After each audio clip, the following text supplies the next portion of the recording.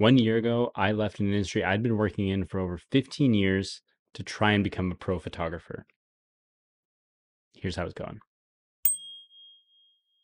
My name is Chris Tellez. I am a professional photographer and videographer based in Baden, Ontario, which is a small town outside of Kitchener Waterloo, Ontario, which is a bigger town outside of Toronto, which is big. You know Toronto. Everybody knows Toronto. So up until last year, I worked in the coffee industry. I had a couple of cafes. I worked for a roastery. I did wholesale. I, I, I did most of the things you can do in the coffee industry, realistically. And I left it because I was just feeling kind of burnt out and unhappy. I had a pretty catastrophic ending, actually, um, which I won't get into here. But what I did know for sure was that I wanted to turn my passion and hobby of photography into a career if I could. And it's been one year since I kind of made that decision. So it's been a year and um, you know business is booming. I'm constantly busy. I have more people you know banging at my door trying to get me to take photos than i know what to do with. It's just it's crazy. And so i want no of course not. It's been a year and it's been super tough and difficult and confusing and um, some things have gone really well and some things haven't. And that's what i want to talk about. I want to talk to you about the things that have gone super well for me the things that have not gone well and where things are at after one year what I think is realistic for myself in the next year and what this whole channel is going to be about. So, breaking down the things that I've learned in the last year, starting with number one uh, gear is going to fuck you up. When you're barely booking gigs, you've got way too much time to be looking at gear reviews and trying to learn things about gear and imagining the perfect gear for your setup so that you can book the clients you want to book make the decisions that you want to make for your business and and and it, it, can feel empowering because you don't have the clients yet but you think okay if i if i get this stuff that's going to be it that's going to help the idea of wanting to book more clients or different types of clients and buying the gear in order to allow me to do that was kind of putting the cart before the horse Okay, so the second thing that I've learned in this past year is that unless you are very, very lucky, this will not be a full time thing. My biggest shoot this year was $3,000, and that was way more than the rest of them. Most of my shoots were somewhere in that uh, you know 200 300 400 500 dollar range i would say 3k was an anomaly and anywhere 10 to 20% of that is what most of my shoots would end up being I say this as somebody who's in my 30s. I have a partner who has a six year old. We have a real life that we have to deal with. We've got, you know, we've got a, an apartment to rent. We've got cars. We have subscriptions. We have we have a life. That romantic idea of being like a starving artist is just not real for me.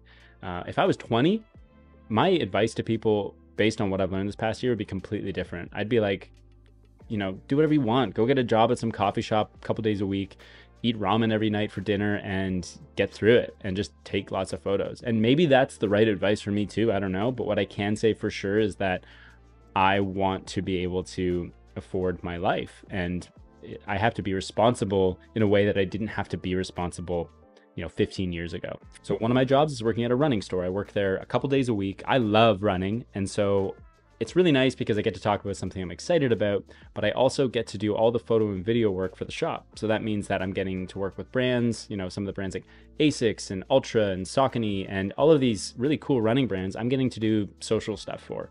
So it's moving me towards my goal. From the get go, I knew that I need to start making connections if I wanted to actually build my portfolio. And that is something that I have waffled on a bunch of times because it's really easy to feel like you're not worthwhile, like you have nothing to offer.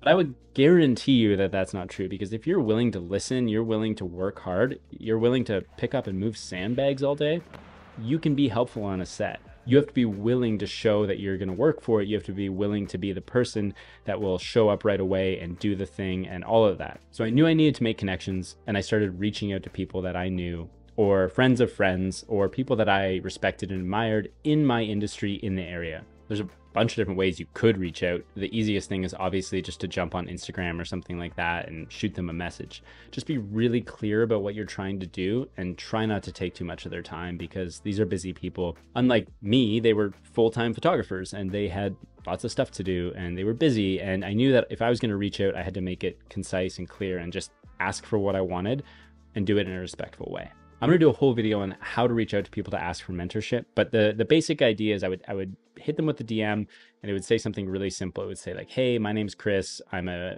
relatively new photographer. I love your stuff. I live in your area and it would be really cool if I could work with you someday. If you ever need somebody to just make some some BTS for you or you want somebody to move around sandbags or just grab you lunch while you're busy on a shoot, I'd love to help. I said nothing really about taking photos. I said nothing about asking to get paid. All I did was say, I want to help. If there's anything I can do, please let me know. And the key thing is just make sure you're adding value. The worst thing you can do is just not not give anything back, right? You can't just be taking. You have to you have to be giving back. And that's something I always think about. Okay, number 4 you need to have some kind of creative project because if you're just sitting there waiting for clients to find you, you are not going to be improving on your skill set. You're not going to be excited. And likely, if you're new into the photography space, you got into it because you're passionate about photography. I've been chipping away at one over this past year, highlighting rural Ontario and the small farming communities. Basically, what I do is I go out and I listen to Taylor Swift and I take photos. It's pretty simple, but it is really fun and it is keeping me excited and it's helping me build a portfolio on the personal side that I'm really proud of. The last thing is to not wait until the time feels right. This is a fun title to say one year as a pro photographer, but it hasn't actually been a year. It's been a little bit less than a year. I knew that if I just waited for the time to feel right, or if that like calendar mark of like it's been one real year, I, I probably wouldn't make YouTube videos. It just, I don't know. They're not, this is weird. This is a weird thing to do.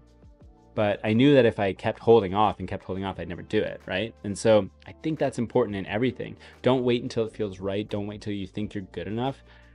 Do the thing, and that's going to make you better. Mood follows action. So just get out there and do it. Quick little Rich Roll quote for y'all before we leave. What's the plan for YouTube? I'm going to try and upload twice a week, every Tuesday and Friday. I have 40 videos planned. I hope that's enough to get people interested, and I hope you want to follow along. So, um, you can find everything down below in terms of my socials and all that stuff. And uh, if you want to follow along, subscribe. Let me know what you think. Hope I hear from you. All right. Peace.